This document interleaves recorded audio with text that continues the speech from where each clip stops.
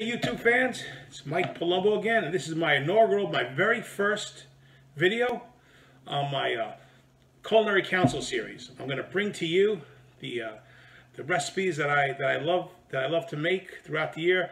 I'm not a chef, but I'm a really good cook. I don't like eating out a lot. I don't like, like eating bad. I love to eat, as you can tell. We can all tell, but I don't like eating crappy food. I don't like eating processed food. I don't like doing takeout a lot, and I cook at home for myself a lot, all the time. I do go out to dinner, of course. Who doesn't go out to dinner? But this is this is uh, my mainstay, and I'm my inaugural and my very first video. I'm doing Manhattan clam chowder because about a few weeks ago I put a very brief video of the finished product of my Manhattan clam, clam chowder just for a goof onto, onto Facebook and um, onto YouTube, and people loved it. Uh, they just loved it. They're commenting on it, so I'm bringing this to you first. This is my uh, very first video, um, and what gave me gave me the inspiration to do the Manhattan clam chowder was, like I said, I love I love making soups, and I make a really good tomato soup. My daughter loves it. I love it. It's just perfect. But what I don't like about it, like I don't like about any soups, I like to have stuff in the soup. I don't like just like a soup that's just a soup. Like I like chicken noodle, bean soup, split pea soup has ham in it. You know, I like I like my soups, you know, to have something in them. Um, but the tomato soup doesn't have anything in it. I use it with, with my tomatoes, fresh tomatoes from the garden, which I'm going to use today. These are fresh. These are I freeze them when I pick them from the garden. I have a huge garden that I, I get plum tomatoes, and for the very purpose of freezing them. We'll see more about that later. Um, and I'll make my soups out of it. But my daughter and I love this this tomato soup that I make. But I, I was just bored of it, you know. So I said, you know what? Let me do Manhattan clam chowder. It's basically it's a, it's a tomato soup base, and it's been it's been a home run. Now, for most soups and almost any soups, you always want to start with this trilogy of um, carrots, uh, celery, and onions. Now I got potatoes here too. This, this recipe calls for potatoes. So, but if you have if you have this in your in your refrigerator, and a lot of times you're missing the celery because it goes fat, it goes bad faster. But onions and carrots stay a long time, so you don't have the celery. You know, you can make yourself a nice bean soup, a nice chicken noodle soup, a nice vegetable soup. You know, just with that and with chicken broth, or you use the bouillon cubes. But this is is a, is a base. Um, we're going to use the uh, some chicken broth about I got about half left. That's what it calls for and about the volume of what I'm making here. Um, and really I use it as a boiling medium because my, my tomatoes are, are frozen. So I got to boil them and I'll puree them. You'll see me do that. Um, now, now, if you don't have fresh tomatoes, you know, most people don't, this is what you use. San Marzano, listen, you're ever going to make sauce, you're going to ever make tomato soup, you're going to ever make anything that needs a, a, a tomato sauce, always get the San Marzano certified uh, uh, plum tomatoes. This is 28 ounces, all right? Now, this happens to be organic. It's certified.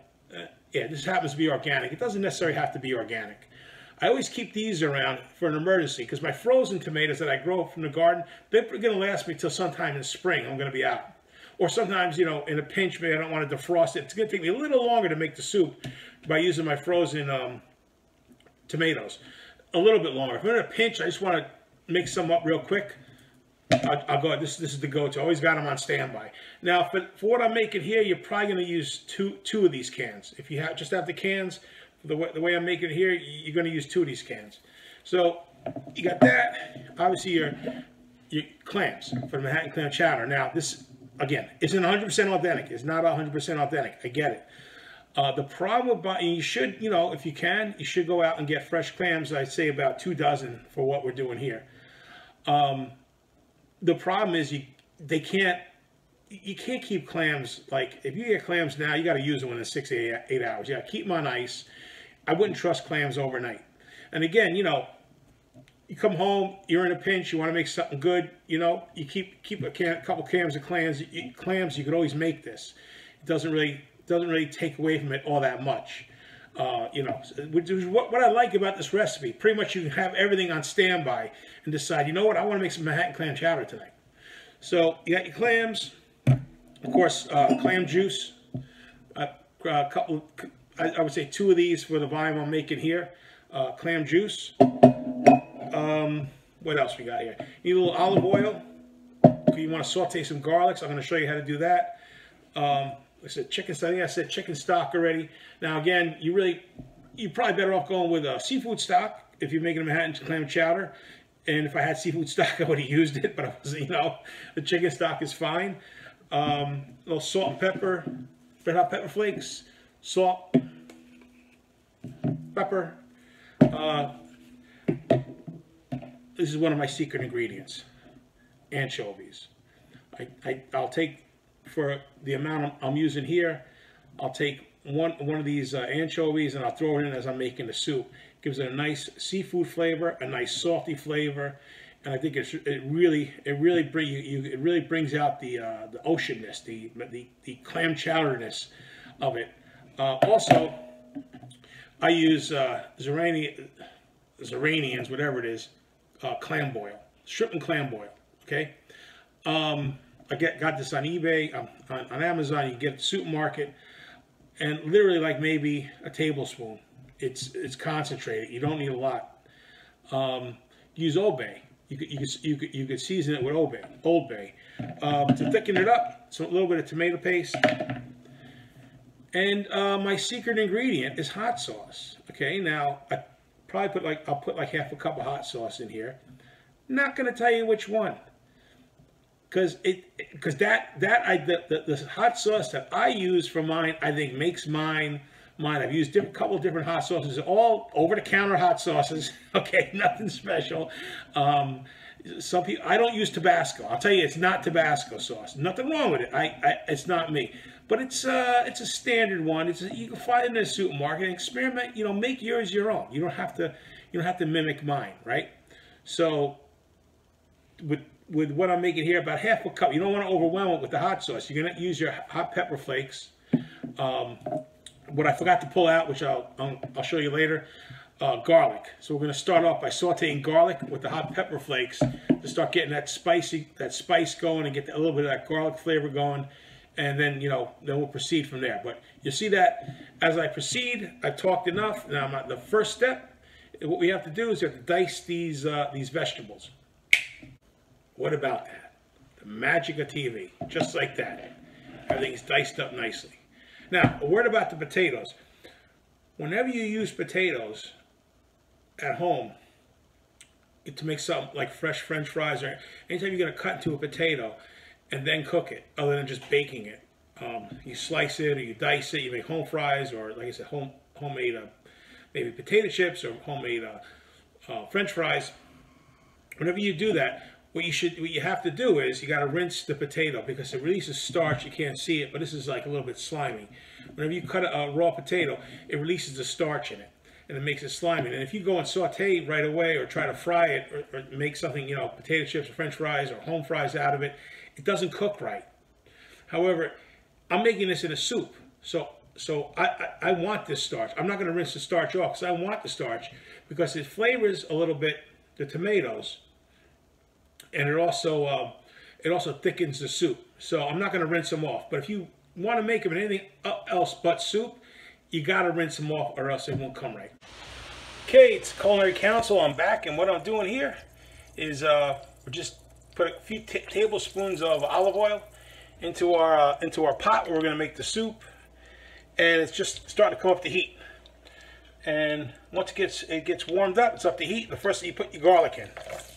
Listen, let's listen to that sizzle, folks. I mean, come on, nothing like garlic and oil. I mean, I can put a little butter in here, make a little macaroni, and that's it. Spaghetti al Spaghetti with, spaghetti with garlic and oil. Throw a little butter in here, that's my sauce. Boil some, some macaroni. Take a tablespoon of the water, put it in with the sauce, and I mean, that, that, that in itself is a meal. I mean, that right there is a meal. Garlic and oil. Now, very important. All right, very, very important that if you want to spice something up, you put it in the cooking medium. So I like to I, I like a, a spicy um, Manhattan clam chowder. Everyone does. I start my red hot pepper flakes. I put it into the cooking medium. My son taught me this. You don't do it after the fact. Put it right into the cooking medium, right into your olive oil. That's that's the point where you're going to get the most essence and the most flavor. You know, it's going to release the uh, the uh, the heat. Of the um, of the red hot peppers, uh, uh, the, the most. And this is almost ready. And if you can see, I'm sure you can see the the olive, the uh, the, the garlic is is, is turning um, it's turning brown, but it's not burnt yet. You don't want to burn it. You want to turn it brown. This is the point where you start. You put your your chicken broth in. It'll sizzle a little bit. That's okay.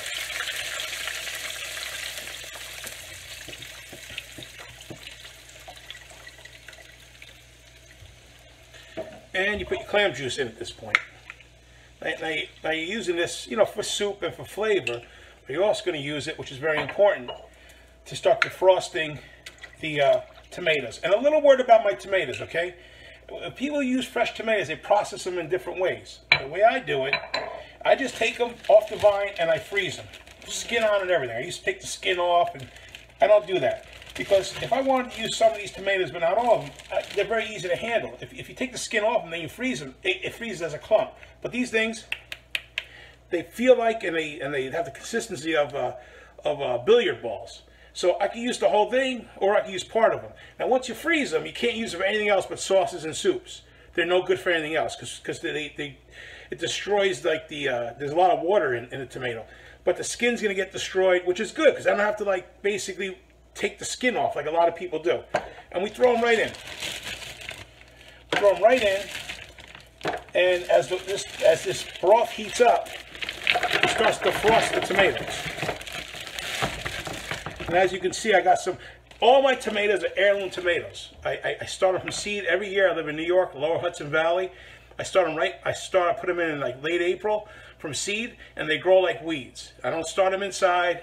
I don't go to a garden center. I get heirloom tomato seeds from Eden. As you can see here, this is yellow and this is not a plum tomato. A bunch of ones in here aren't plum tomatoes. What I do is I mostly use my plum tomatoes in my sauces, and the other ones that come out a little cockeyed, like this one here, I put them in, I, I, I freeze them with, with the uh, plum tomatoes for my sauce. So it's going to take a little bit of a while to start to boil, and uh, as it starts to boil, I'm going to I'm going to hit it with my immersion blender to uh, to basically puree and blend it up. So we're going to come back when, um, when things are a little more exciting. Okay, now we got going on here. It's not to a boil yet. It's been on about 10 minutes. As you can see, the um, tomatoes are really starting to break down. They're really, they're really breaking down here. It's not, not at a boil yet. At this point, I'm going to put in my anchovies with the oil and everything. Just throw it all in here you know, at this point, we're putting in anything we, we want to blend in, blend together. Because, um, and put, I guess, a couple tablespoons of tomato paste to help thicken it up. I always, I just eyeball it. I'll be honest with you. I just eyeball it. That's how I do it. Okay, here's the immersion blender. It's a very, uh, very useful tool. Stick it at the bottom because it, it, will splash around. You want to get it to the bottom so it's, it's pressed against the bottom. It creates a suction and things suck in through it. You got to hold the button down. Just tilt it. Things are being sucked in and things are being sucked in and blended.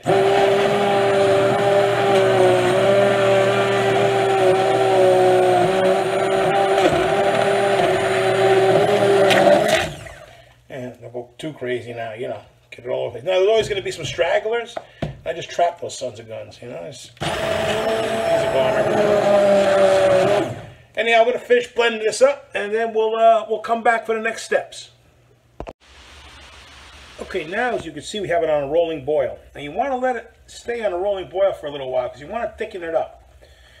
Don't want it the consistency of water, and you also don't want it the consistency of uh, tomato sauce, spaghetti sauce.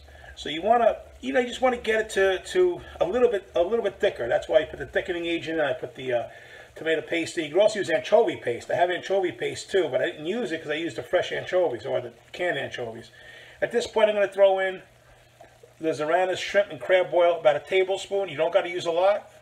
It really gives it that ocean fresh taste, that, that seafood type, type taste. Salt. You don't got to use a ton of salt because the anchovies have salt in them. And um, and also you're using um, celery, which is which has actually a, a, fair amount of salt in it. Salt and pepper. I like a lot of pepper. Again, I, everything I do is eyeball. Just I eyeball it, you know? Well, it doesn't come out exactly the same from batch to batch, but believe me, wish you were here just smelling this as it is now, you know? So, it's boiling off. And my next step is to put my vegetables in.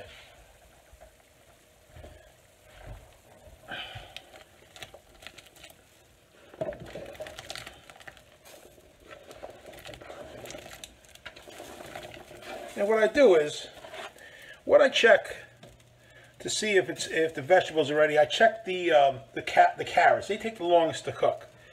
So when the carrots are to, to your liking, as it pertains to um, you know how hard they are, um, I don't like them that very al dente. I like them. I don't like them too hard. I like I don't like them too mushy, but I just like them uh, not hard. Uh, you know, uh, that's when I, I really lower the heat. That's when I'm, I'm saying, okay, it's, it's done cooking. But we're going to bring this back up to a boil, and then we'll uh, show you the, the final steps. Okay, so now we brought it back to a nice rolling boil. And what it's doing, it's cooking the vegetables, and that's why I put them in last. I don't want them to get overcooked. Not just cooking the vegetables, it's uh, also still steaming down. I think you can see it on the screen. Uh, I hope it's coming out good. We'll see. But it's still um, it's still cooking down. It's still um, you know kicking off some moisture and thickening up thickening up the soup. And you can't feel this, but as I put the spoon through it, I can feel that. I can just feel that the that the uh, vegetables are still a little solid. They're still a little not not cooked yet. So I'm gonna let it go for another few minutes, and you know I'll, I'll just check it as we go. Okay, so now it's been boiling for a while. Check the uh, carrots, the right consistency. So are the uh, potatoes. They also could take a little longer to cook. And I you probably can't see it, but it's cooked down because it leaves a rim where, where the liquid initially was. And as it, as it evaporates off, you can see the, the initial starting point. But I checked it in between takes. Everything's ready. It's good consistency. The last step, add half a cup of hot sauce and the uh, and the clams and I wait to the end because I don't want the hot sauce to, to, to, um, to evaporate off. And I wait to the end for the clams because, first of all, they're pre-cooked, but even if they were raw, they cook real fast. And if you overcook them, they get rubbery, and they're going to continue to cook, um, even after you take it off the heat. And all I do, the last step was, I mix it in. That's all I'm doing, mixing it in.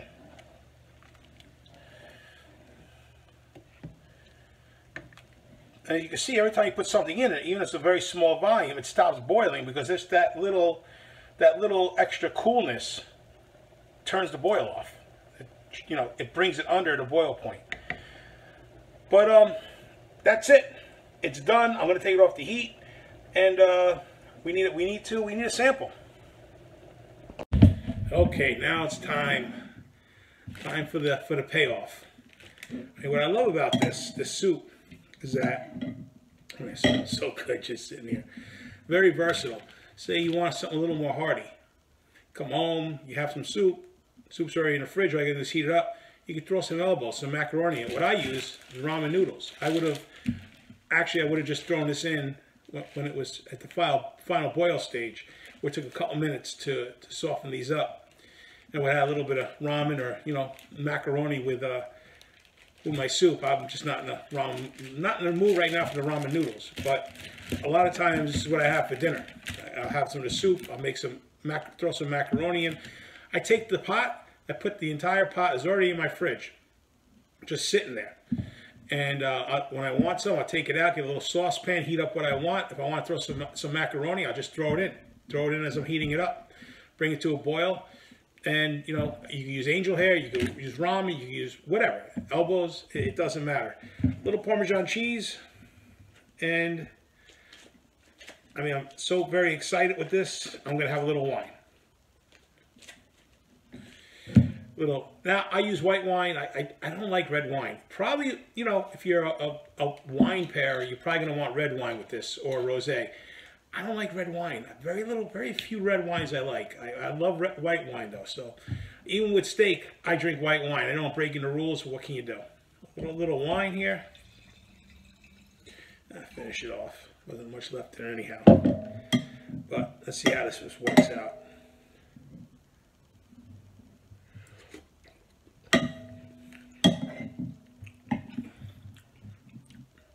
You know you're eating seafood. A good chowder. When you eat this, perfect heat, perfect spice. Uh, it's, the ultimate comfort food. I mean, this is comfort food. There's nothing wrong. There's nothing bad about it. It's healthy for you. Um, it, it just it, it just tastes. You know, you, you feel like you're in New England. You know, when, you, when you're eating this, just it's a. You can't describe it. You got to have it. Come on over. Just come on over. I, we'll, we'll have some, you know. What I'm going to do, right after I turn this video off, I'm going to take the soup. I'm going to put it in a big cup. I'm going to bring my wine. I'm going to get a cigar. I'm going to go out back. It's a nice chilly night. This is, you know, a nice chilly, chilly autumn day, you know. And I'm going to light up my cigar. I'm going to have my soup and some wine. And I'm going to light my cigar up. Let me uh, toast to, to good health and good cheer. This is a Riesling. Riesling Chardonnay. Chardonnay Riesling uh, from Brickstone Cellars, which is in upstate or western New York in the Finger Lakes region. Bet you didn't know this. Finger Lakes region in New York State, best wine wine country ever.